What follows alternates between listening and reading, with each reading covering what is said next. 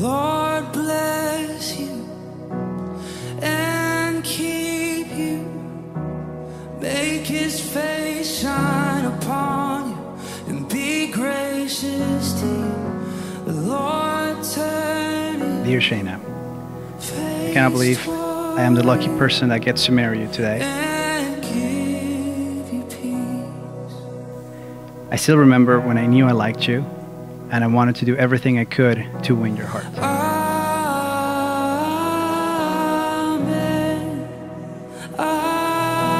You were my reason back then, you are my reason today, and you'll be my reason every day.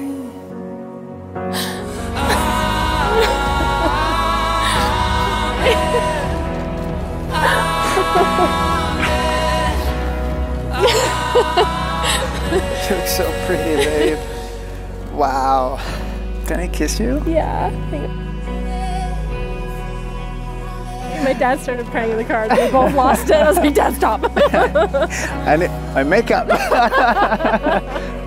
May his favor be upon you and a thousand generations and your family and your children and their children and their children.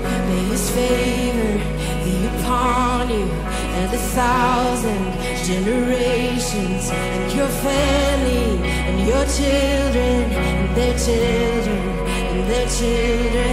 May his favor be upon you and a thousand generations and your family and your children and their children. and their I remember Shayna sitting on the beach with you and talking about one day and what that person could look like. And I remember asking you, So, what are you dreaming of? What are you envisioning? And then, Enrique, you know, there we were setting up Sunday mornings at Coastal. That looks like a declaration of independence or something. The world is not the same that we used to know.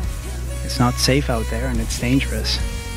However, in the midst of so much turmoil, your arms are my place of safety and my home, and your kisses are a peace in the storm. I get the opportunity to do all that, and to me, that is a blessing and a gift from the Lord. He's for you. He's for you. He's for you. He's for you. He's for you. He's for you. He's for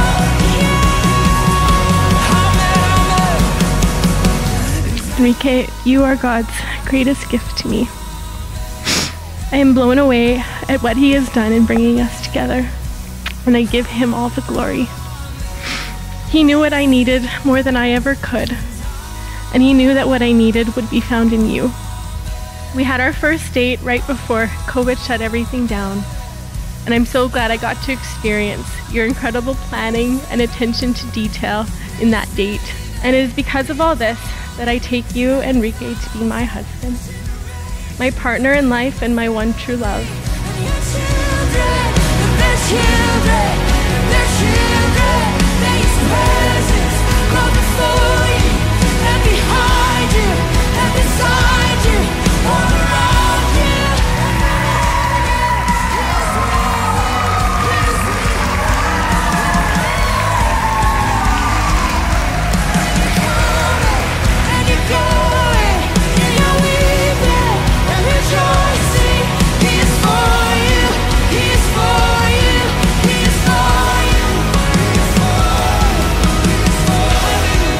I also want to just express my gratitude for everyone who helped make this happen in like 10 days.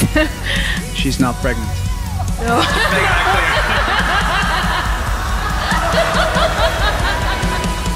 What a privilege it is, everyone, to introduce for the very first time Mr. and Mrs. Ostos.